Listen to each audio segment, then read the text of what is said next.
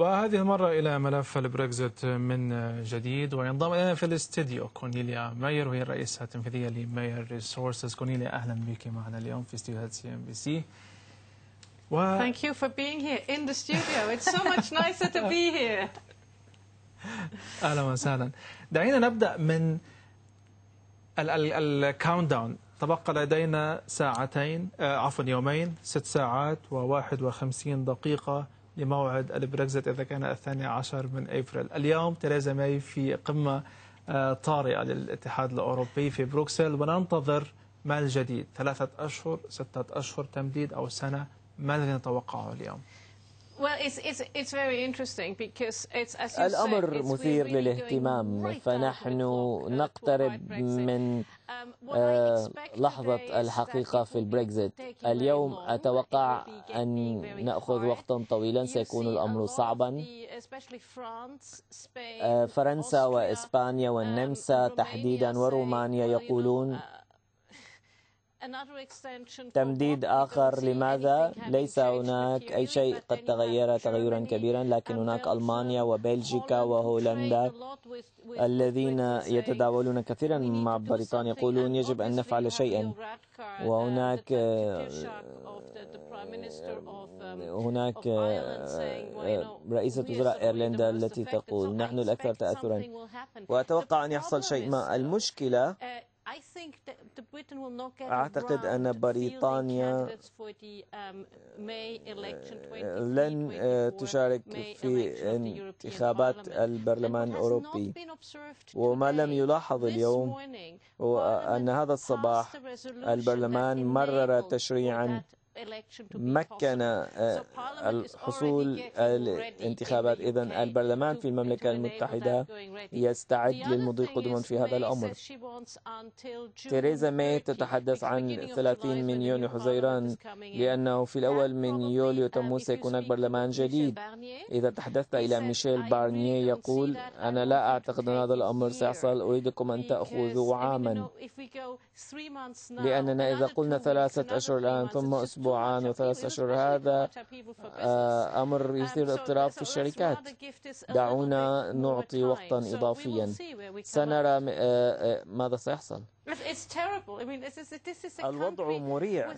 هذا بلد لديه وزارة خارجية رائعة وهو لديه وزن كبير في العالم والآن كمواطنة بريطانية يؤلمني أن أرى ما يحصل. ولكن كورنيليا يعني دونالد تاسك يتحدث بأنه التمديد سيكون مشروط مشروط بأنه لن يتم إعادة التفاوض على الاتفاق النهائي الذي توصلت له تيريزا مع الاتحاد الأوروبي اتفاق البريكزيت الذي يرفضه أساسا البرلمان البريطاني ما الذي يعنيه ذلك؟ يعني ما هي السيناريوهات الأخرى المحتملة إذا وافقت تيريزا على أنه لن يكون هناك يعني مفاوضات جديدة على هذا الاتفاق؟ Well, I think it's not no negotiation on the agreement. Michel Barnier has come out ميشيل بارنيه قال بوضوح. اتفاق الانسحاب هذا أو اتفاقيات الطلاق التي تتضمن إجراءات الطلاق والأموال. هذا الأمر مقدس. لا يمس لكن العلاقة المستقبلية وهو الإعلان السياسي يسعدنا أن نتحدث بشأنه.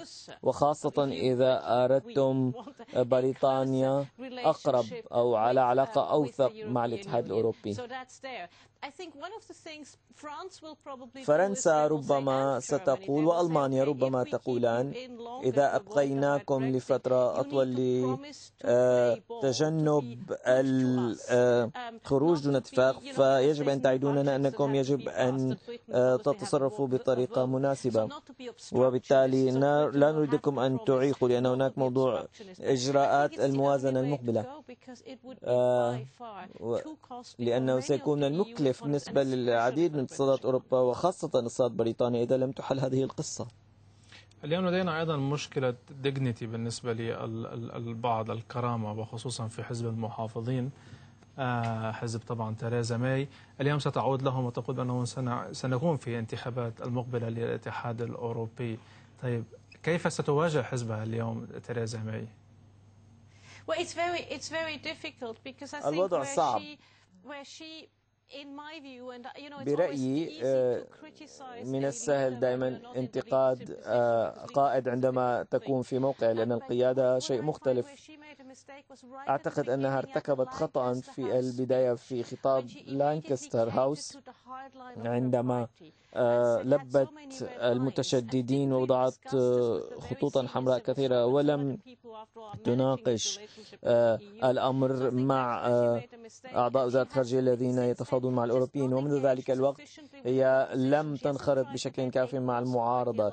هي لم تحاول مد الجسور مع بقية طبعا رئيس وزراء إيرلندا منذ البداية أدرك أن الأمر آه، مصيري لذلك تحادث أو آه، توافق مع المعارضة آه، وهذا الأمر جعله أقوى تجاه الاتحاد الأوروبي.